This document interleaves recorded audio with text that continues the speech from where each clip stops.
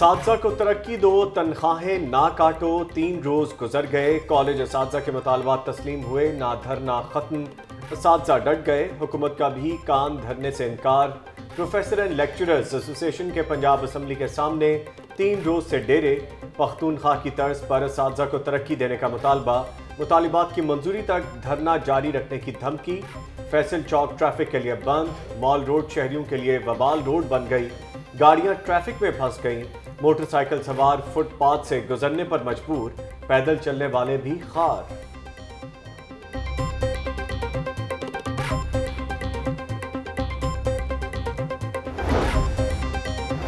اسما تشدد کیس میں نیا موڑ، آئس نشہ، میاں بیوی کو لے ڈوبا۔ نشے میں تھا، تشدد بھی کیا، بال بھی کاٹے۔ شوہر کا اعتراف جرم، بیوی پر بھی نشہ کرنے کا الزام۔ اسما آئس کا نشہ کرتی ہے۔ مجھ سے تیسری شادی کی، پہلے خاون سے دو بچے۔ میری بھی پہلی بیوی سے طلاق ہوئی، پھر اسما سے شادی کی۔ اسما نے نشے میں پہلے خود بال کاٹے، پھر مجھے کہا، سارے بال کاٹ دو۔ بال کاٹنے کے بعد صلح صفائی سے میرے ساتھ رہی۔ کسی کے کہنے پر تشدد کا الزام لگایا۔ ملزم میاں فیصل کا پولیس کو دیا گیا بیان۔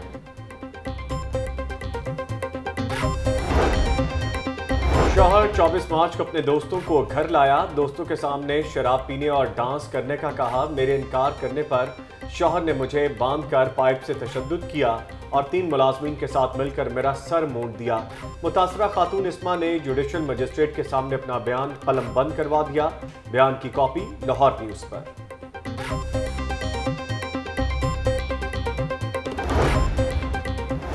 وزیر اعلیٰ کے میو ہسپتال کے ہنگامی دورہ کے بعد کوئی تبدیلی آئی کہ ایمرجنسی میں مریضوں کو سو فیصد مفت ادویات ملنے لگی ویل چیئر شناختی کارڈ کے بغیر مل رہی ہے۔ مریضوں اور لواحقین کی رہنمائی کے لیے وارڈنز پر سائن بورڈز لگ گئے۔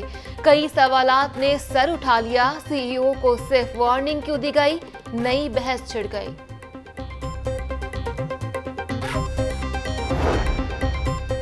ٹیسٹ باہر سے ادویات بھی باہر سے لا رہے ہیں۔ ایک ایک بیڈ پر دو دو مریض ہیں۔ بات کریں تو کہا جاتا ہے مریض پرائیویٹ ہاسپٹل لے جاؤ۔ کئی گھنٹوں سے خالی پیٹ ہوں۔ سی ٹی سکین نہیں کیا جا رہا۔ میو ہاسپٹل میں مریض اور لواحقین حکومت کے خلاف پھٹ پڑے۔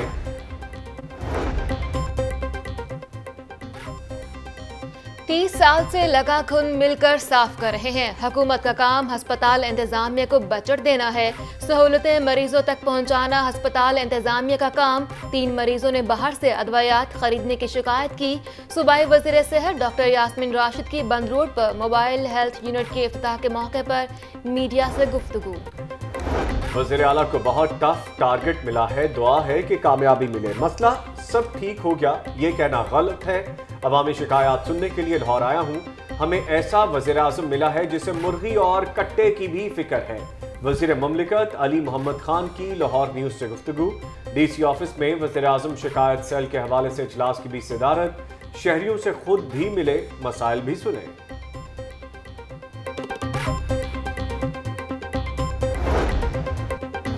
سابق وزیر اعظم کا شریف میڈیکل سٹی میں دو گھنٹے تک طبی معائنہ، شوگر اور بلڈ پریشر نارمل بلڈ کے سیمپل لیے گئے۔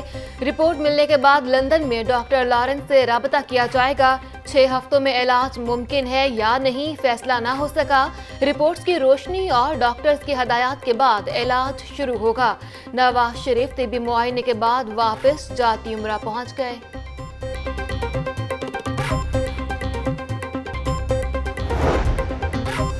نواز شریف کا انجائنا کا درد بڑھنے کی وجہ سے مکمل آرام کا مشورہ دیا مولوجین نے سابق وزیر اعظم کی صحت، کیفیات اور علامات کا جائزہ لیا۔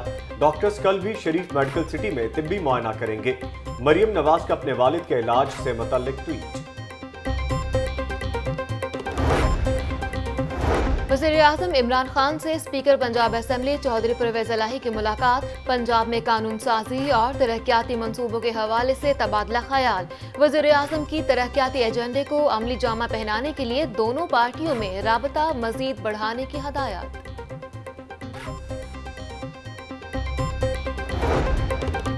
گورننس کو مزید بہتر بنا کر کاروبار میں آسانیاں پیدا کریں گے، سرمایہ کاروں اور صنعت کاروں کو ہر ممکن سہولیات دیں گے۔ وزیر اعلیٰ پنجاب عثمان بزدار سے چیئرمین پنجاب سرمایہ کاری بورڈ سردار تنویر الیاس خان کی ملاقات قائد کے بعد لیگی رہنما کا بھی علاج معالجہ۔ عدالت کا حنیف عباسی کو شیخ زید ہسپتال منتقل کرنے کا حکم۔ ہائی کورٹ میں حنیف عباسی کی سزا معطلی کے لیے اپیل پر سماعت۔ حنیف عباسی دل اور گردے کی بیماری میں مبتلا ہیں۔ عدالت سزا معطل کر کے ضمانت منظور اور رہا کرنے کا حکم دے۔ لیگی رہنما کے وکیل کی استدا پنجاب حکومت کا نیب عدالت کو ٹھوکر نیاز بیگ منتقل کرنے پر غور۔ وزیر اعلیٰ کی زیر صدارت انتظامی اور پولیس افسران کا اہم اجلاس۔ سردار عثمان بزدار کہتے ہیں، ڈپٹی کمشنرز اور ڈی پی اوز مشترکہ کھلی کچہریاں لگائیں۔ حکومتی ریٹ ہر جگہ نظر آنی چاہیے۔ پالیسیز کافی نہیں، عمل درآمد یقینی بنانا ہوگا۔ دباؤ یا سفارش کو خاطر میں نہ لائیں، کسی کا ناجائز کام مت کریں۔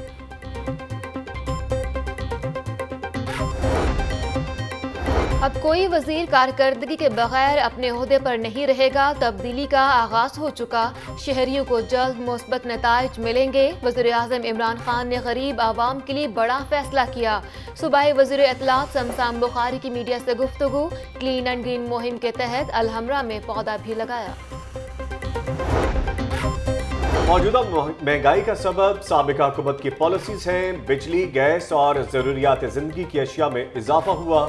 این ایف سی وارڈ کو وفاق کے تناظر میں دیکھ رہے ہیں۔ وزیر خزانہ ہاشم جوان وقت کا فلیٹیز ہوٹل میں تقریب سے خطاب۔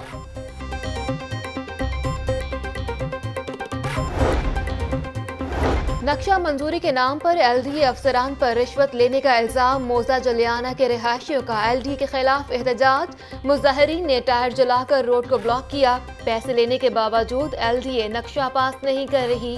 مظاہرین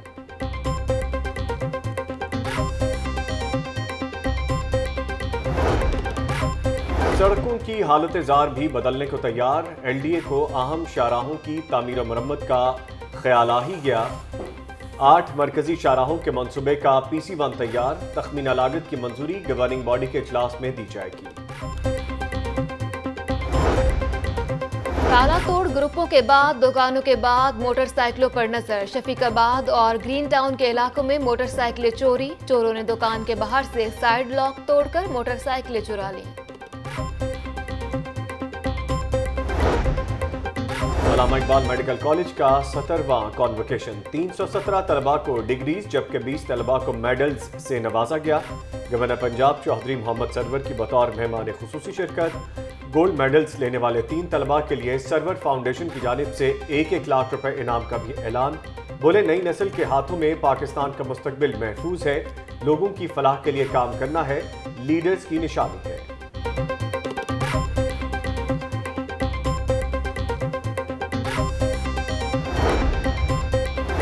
ہیڈ کوارٹر لاہور میں تقریب کا اہتمام شہدہ کی فیملیز اور غازیوں کو ایوارڈ سے نوازا گیا۔ Corps commander Lahore lieutenant general Majid Hassan کی بطور مہمان خصوصی شرکت تیئیس افسران کو تمخہ امتیاز، اڑتالیس کو تمخہ ملٹری پندرہ سولجرز کو تمخہ بسالت سے نوازا گیا۔